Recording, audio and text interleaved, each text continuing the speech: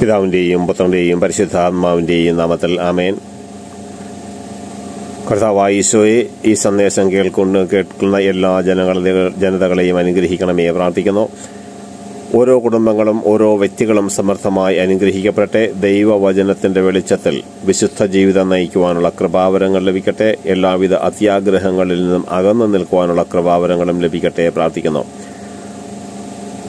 സഹോദരങ്ങളെ ജപമാല മാസം ആചരിച്ചു കൊണ്ടിരിക്കുന്ന ദിവസങ്ങളാണ് ഈ ഒക്ടോബർ മാസം മുഴുവനും.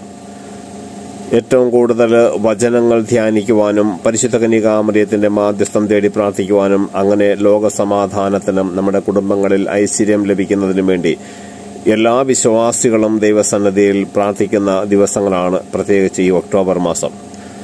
പരിശുദ്ധ കന്യകാമറിയത്തിന്റെ ജപമാല മാസമായി പ്രത്യേകം സമർപ്പിക്കുന്ന ഈ മാസത്തിൽ പരിശുദ്ധ കന്യകാമറിയം കുടുംബങ്ങളിലെ കുറവുകൾ യേശുവിന്റെ കൃപയാൽ നികത്തപ്പെടുന്നതിന് വേണ്ടി മാധ്യസ്ഥം വഹിച്ചിട്ടാണ് ആദ്യമായിട്ട് യേശു തന്റെ പരസ്യജീവിതം പോലും ആരംഭിക്കുന്നത്. അതായത് കാനായിലെ കല്യാണത്തിൽ അവരുടെ കുറവുകൾ യേശു തന്റെ കൃപയാൽ നികത്തിയിട്ടാണ് അവരുടെ ദുഃഖങ്ങളെല്ലാം സന്തോഷമാക്കി മാറ്റുന്നതും അവരുടെ കുറവുകൾ സമൃദ്ധിയാക്കി മാറ്റുകയും ചെയ്യുന്നത് പരിശുദ്ധ കന്യകാമറിയത്തിന്റെ മാധ്യസ്ഥത്തിലൂടെയാണ്. നമുക്കും ദൈവസന്നദ്ധിയിലേക്ക് കടന്നു വരുമ്പോൾ ദൈവത്തോട് പ്രാർത്ഥിക്കുമ്പോൾ പരിശുദ്ധ കനികാമറിയത്തിന്റെ സഹായം തേടാം. നമ്മുടെ കുടുംബങ്ങളിലുള്ള കുടുംബങ്ങളിലേക്ക് ഐശ്വര്യം കടന്നു വരുന്നതിനും സമ്പൽ സമൃദ്ധി കടന്നു വരുന്നതിനും നമ്മുടെ കുടുംബങ്ങളിൽ ഐക്യവും സ്നേഹവും സമാധാനവും സമൃദ്ധമായി ഉണ്ടാവുന്നതിനും വേണ്ടി നമുക്ക് മാധ്യസ്ഥം വഹിക്കാം. ലൂക്കാസുവിശേഷം പന്ത്രണ്ടാം അധ്യായത്തിന്റെ പതിമൂന്ന് മുതലുള്ള തിരുവചനത്തിൽ ഒരു ധനികനായ ഒരു മനുഷ്യൻ യേശുവിന്റെ അടുക്കൽ വരിക അതിന്റെ ഹെഡിങ് തന്നെ ഫോഷനായ ധനികൻ എന്നാണ്. ജനക്കൂട്ടത്തിൽ നിന്ന് ഒരുവൻ അവനോട് പറഞ്ഞു ഗുരു പിതൃസ്വത്ത് ഞാനുമായി പങ്കുവയ്ക്കുവാൻ എന്റെ സഹോദരനോട് കൽപ്പിക്കണമേ. യേശു അവനോട് ചോദിച്ചു ഹേ മനുഷ്യ എന്നെ നിങ്ങളുടെ ന്യായാധിപനോ സ്വത്ത് ഭാഗിക്കുന്നവനോ ആയി ആര് നിയമിച്ചു? അനന്തരം അവൻ അവരോട് പറഞ്ഞു ജാഗരൂകരായിരിക്കുവിൻ എല്ലാ അത്യാഗ്രഹങ്ങളിൽ നിന്നും അകന്നിരിക്കുകയും ചെയ്യുവിൻ. മനുഷ്യജീവിതം സമ്പത്ത് കൊണ്ടല്ല ധന്യമാകുന്നത്. ഒരു ഉപമയും അവൻ അവനോട് പറഞ്ഞു ഒരു ധനികന്റെ കൃഷിസ്ഥലം സമൃദ്ധമായ വിളവ് നൽകി. അവൻ ഇങ്ങനെ ചിന്തിച്ചു ഞാൻ എന്തു ചെയ്യും? ഈ ധാന്യം മുഴുവൻ സൂക്ഷിക്കുവാൻ എനിക്ക് സ്ഥലമില്ലല്ലോ. അവൻ പറഞ്ഞു ഞാൻ ഇങ്ങനെ ചെയ്യും. എന്റെ എന്റെ അറപ്പുരകൾ പൊളിച്ച് കൂടുതൽ വലിയവ പണിയും. അതിലെന്റെ ധാന്യവും വിഭവങ്ങളും സംഭരിക്കും. അനന്തരം ഞാൻ എന്റെ ആത്മാവിനോട് പറയും ആത്മാവെ അനേക വർഷത്തേക്ക് വേണ്ട വിഭവങ്ങൾ നിനക്കായി സംഭരിക്കപ്പെട്ടിരിക്കുന്നു. വിശ്രമിക്കുക തിന്റെ കുടിച്ച് ആനന്ദിക്കുക. എന്നാൽ ദൈവം അവനോട് പറഞ്ഞു ഫോഷ ഈ രാത്രി നിന്റെ ആത്മാവിനെ നിന്നിൽ നിന്ന് ആവശ്യപ്പെടും. അപ്പോൾ നീ ഒരുക്കി വച്ചിരിക്കുന്നവ ആരുടേതാകും? ഇതുപോലെയാണ് ദൈവസന്നദ്ധിയിൽ സമ്പന്നനാകാതെ തനിക്ക് വേണ്ടി സമ്പത്ത് ശേഖരിച്ചു വയ്ക്കുന്നവനും. എന്നെ ശ്രമിക്കുന്ന സഹോദരങ്ങളെ ദൈവസന്നിധിയിൽ സമ്പന്നനാകാതെ തനിക്കു വേണ്ടി സമ്പത്ത് ശേഖരിച്ചു വയ്ക്കുന്നവരെ ദൈവം വിളിച്ചതാണ് ഫോഷനായ ധനികൻ. ഇന്ന് നമ്മുടെ മധ്യത്തിലും ഒരുപാട് വ്യക്തികളുണ്ട്. ദൈവസന്നിധിയിൽ അവർക്ക് യാതൊരു സമ്പത്തുമില്ല. മറിച്ച് ഭൗതികമായ കുറേ സമ്പത്ത് തനിക്ക് വേണ്ടി മാത്രം സ്വരുക്കൂട്ടി വെച്ചിട്ട് തിന്നുകുടിച്ച് ആനന്ദിച്ച് സ്വയം നശിച്ചുകൊണ്ടിരിക്കുന്ന ഒരുപാട് വ്യക്തികൾ ഇന്ന് ലോകത്തിലുണ്ട്. നമ്മുടെ ചുറ്റുവട്ടത്തിലുമൊക്കെയുണ്ട്. ഒരുപക്ഷെ നമ്മുടെ കുടുംബത്തിലുമായിരിക്കാം. ഇന്ന് നമ്മുടെ ആത്മാവിനെ ദൈവം തിരികെ വിളിക്കുകയാണ് എങ്കിൽ നമ്മൾ ഈ സ്വരുക്കൂട്ടി വയ്ക്കുന്ന സമ്പത്ത് ആരുടേതാകും? നമ്മൾ ഇന്ന് വസിക്കുന്ന ഭവനം ഒരുപക്ഷെ നാളെ നമ്മുടെ മക്കൾക്ക് കൊടുക്കാം മക്കളത് പൊളിച്ചു കളഞ്ഞ് പുതിയ വീട് വയ്ക്കാം. അല്ലെങ്കിൽ അത് വിറ്റുകൊണ്ട് വിദേശ രാജ്യത്തിലേക്ക് പോകും. വാങ്ങുന്നവർ അവിടെ താമസിക്കും. അല്ലെങ്കിൽ അടുത്ത തലമുറ വരുമ്പോൾ അത് പൊളിച്ചു കളഞ്ഞിട്ട് പുതിയ വീടുകൾ പണിയും. ഇന്ന് നമ്മുടെ വണ്ടികൾ ബാങ്ക് ബാലൻസുകൾ എന്ത് തന്നെ ആയിക്കൊള്ളട്ടെ നാളെ മറ്റാരോ അത് ഉപയോഗിക്കും. ഇന്നലെ ആരൊക്കെയോ ഉപയോഗിച്ച വസ്തുവകകൾ ഭവനങ്ങൾ ഒക്കെ നമ്മൾ ഇന്ന് ഉപയോഗിക്കുന്നുണ്ട്. ഇന്നലെ ആരൊക്കെയോ ഉപയോഗിച്ചതിന്റെ ഉപയോഗിച്ചത് ആ സമ്പത്താണ് ഇന്ന് നമ്മൾ ആസ്വദിക്കുന്നത്.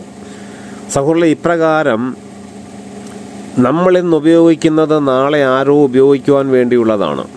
അപ്പോൾ ഇന്ന് നമ്മൾ ദൈവസന്നിധിയിൽ സമ്പന്നനായി മാറിയാൽ മാത്രമേ ദൈവസന്നിധിയിൽ നമുക്ക് പ്രവേശിക്കുകയും നമുക്ക് യഥാർത്ഥ ജീവൻ ലഭിക്കുകയും ചെയ്യുകയുള്ളൂ. ഈ ലോകത്തെ ജീവിതം മാത്രമല്ല നമ്മുടെ ജീവിതം. ദൈവസന്നദ്ധിയിൽ ദൈവത്തോടുകൂടെ ആനന്ദിക്കുന്ന മരണാനന്തര ജീവിതത്തെക്കുറിച്ചാണ് കർത്താവ് നമ്മെ പഠിപ്പിച്ചത് മുഴുവൻ. എന്നാൽ പിശാജ് പഠിപ്പിക്കുന്നത് ഒരിക്കലും മരണാനന്തര ജീവിതത്തെക്കുറിച്ച് പഠിപ്പിക്കില്ല. അത് ഈ ലോക ജീവിതത്തിൽ തിന്നുക കുടിക്കുക ആനന്ദിക്കുക പ്രതികാരം ചെയ്യുക വാശി വൈരാഗ്യം വെറുപ്പ് ഇവയെല്ലാം വെച്ചുകൊണ്ട് മറ്റുള്ളവനെ നശിപ്പിക്കാൻ ശ്രമിക്കുക മറ്റുള്ളവന്റെ മേൽ വിജയം വരിക്കുക ഇപ്രകാരമുള്ള ജഡത്തിന്റെ വികാരങ്ങളും ജഡത്തിന്റെ സ്വഭാവ വിശേഷങ്ങളുമാണ് പിശാജ് നം മനുഷ്യനെ പഠിപ്പിച്ചു കൊണ്ടിരിക്കുന്നത് ഈ ജഡത്തിന്റെ വികാരങ്ങളെ അതിജീവിക്കുന്നവനാണ് ആത്മീയനായി മാറി ദൈവസന്നദ്ധിയിൽ വിശ്രമം കണ്ടെത്തുന്നത്.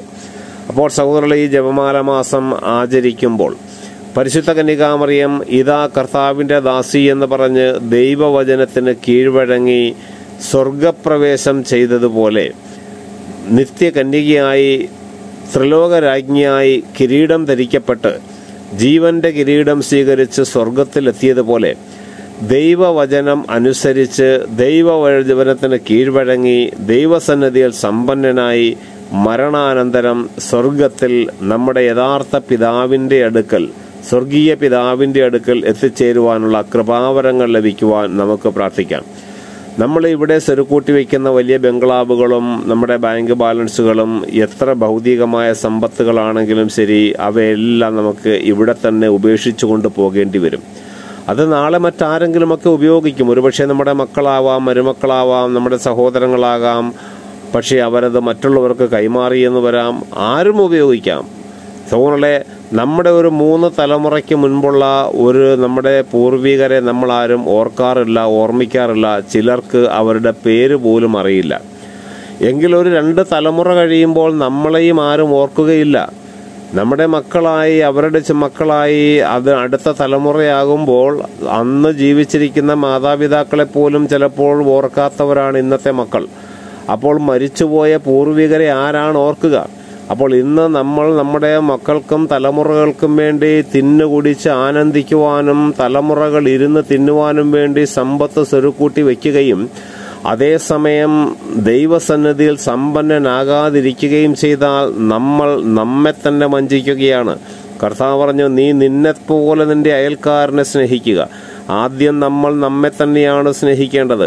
ദൈവസന്നിധിയിൽ വിശ്രമം കണ്ടെത്തുവാൻ ദൈവസന്നിധിയിൽ പ്രവേശിക്കുവാൻ ദൈവവചനത്തിന് കീഴ്വഴങ്ങി ജീവിക്കുവാൻ ദൈവവചനം അനുസരിച്ചുകൊണ്ട് വിശുദ്ധ ജീവിതം നയിക്കുവാൻ ദൈവം നമ്മെ ഓരോരുത്തരെയും ആഹ്വാനം ചെയ്യുകയാണ്. ദൈവത്തെ കാണുവാൻ ദൈവം മനുഷ്യരൂപത്തിൽ വന്ന് മൂന്നര വർഷക്കാലം മനുഷ്യനെ പോലെ ഭൂമിയിൽ നന്മ പ്രവർത്തിച്ചുകൊണ്ട് മനുഷ്യന് ചെയ്യാൻ പറ്റുന്ന രീതിയിൽ തന്നെ മനുഷ്യരൂപത്തിൽ നന്മ പ്രവർത്തിച്ചുകൊണ്ട് ഒരു പടി കൂടെ കടന്ന് താൻ ദൈവപുത്രനാണെന്നും താൻ തന്നെയാണ് ദൈവമെന്നും കൽപ്പിച്ചുകൊണ്ട് ദൈവം മരണം വരിക്കുകയും സ്വർഗാരോഹണം ചെയ്യുകയും ദൈവസന്നദ്ധിയിൽ നമുക്ക് സ്ഥലമൊരുക്കുകയും ചെയ്ത ആ ദൈവത്തെ ആരാധിച്ചുകൊണ്ട് നമുക്ക് വിശുദ്ധ ജീവിതം നയിക്കുവാൻ ആഗ്രഹിക്കാം. പരിശുദ്ധ കന്യകാമറിയത്തിന്റെ സഹായം നമുക്ക് തേടാം. മാതാവ് പിതാവിന്റെ ഇംഗിതത്തിന് വഴങ്ങി പിതാവിന്റെ വചനത്തിന് കീഴ്വഴങ്ങി വചനത്തിൽ വിശ്വസിച്ചുകൊണ്ട് ലോകരക്ഷകന്റെ സഹരക്ഷകയായി മാറിയതുപോലെ ആ അമ്മയുടെ മാധ്യസ്ഥം തേടി നമുക്കും ദൈവസന്നിധിയിലെത്തുവാൻ വേണ്ട കൃപാവരങ്ങൾ ലഭിക്കുന്നതിനായി നമുക്ക് പ്രാർത്ഥിക്കാം. കർത്താവായി ഈശോയെ ഞങ്ങൾ പ്രാർത്ഥിക്കുന്നു. അങ്ങയുടെ സന്നദ്ധിയിൽ സമ്പന്നനായി ജീവിക്കുവാൻ ഞങ്ങളെ അനുഗ്രഹിക്കണമേ.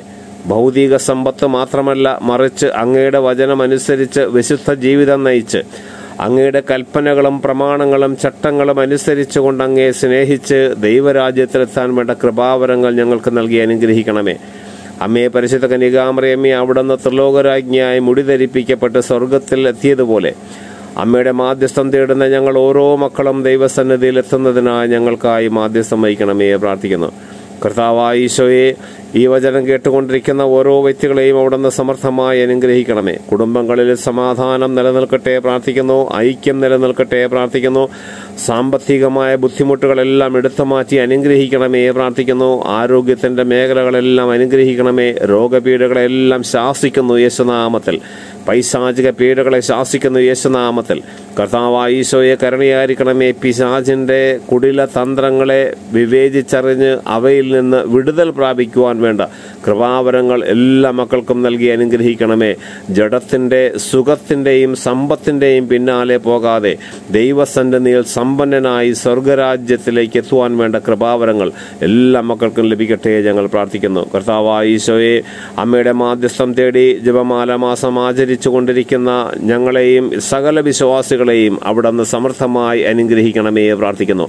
പിതാവിന്റെയും പുത്രന്റെയും പരിശുദ്ധാത്മാവിന്റെയും നാമത്തിൽ ആമേൻ